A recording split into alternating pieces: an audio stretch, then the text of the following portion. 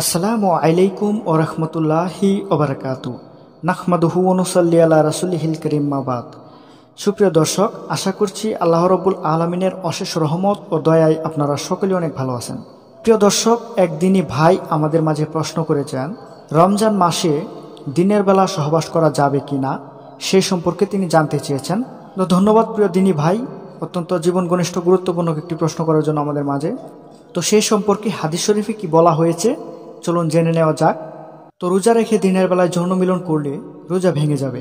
এ কারণে ইফতারের পর থেকে শুরু করে সেহেরির আগ পর্যন্ত যে কোনো সময় যৌন মিলন করা যাবে।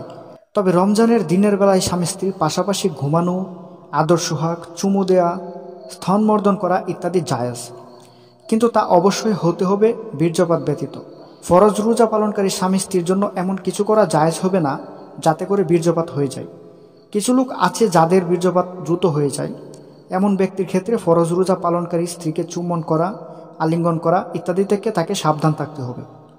মনে রাখবেন, রোজা অবস্থায় রমজান মাসে দিনের বেলায় কখনোই সহবাস করা যাবে না এবং এমন কিছু করা যাবে না যার ফলে আপনার বীর্য নিগৃত হয়ে যায় এবং আপনার রোজা ভঙ্গ হয়ে যাবে। তো সেই দিকে খেয়াল রাখতে হবে। তাছাড়া আপনি স্ত্রীকে চুম্বন করতে পারবেন, জড়িয়ে ধরতে পারবেন, আলিঙ্গন করতে পারবেন স্ত্রীর সাথে, যার ফলে আপনার রোজা ভঙ্গ হবে না। এবং এমন কিছু করা যাবে না, যার ফলে আপনার বীর্য নিগৃত হয়ে যায়। মনে রাখবেন, বের হয়ে গেলে আপনার রোজা ভেঙে যাবে। তো এর থেকে সাবধান। তো প্রিয় প্রশ্নকারী দিনী ভাই, আশা করছি বুঝতে পেরেছেন। দেখা হচ্ছে পরবর্তী নতুন কোনো ভিডিওতে। এ পর্যন্ত ভালো থাকবেন, সুস্থ থাকবেন। আসসালামু আলাইকুম, আল্লাহ হাফেজ।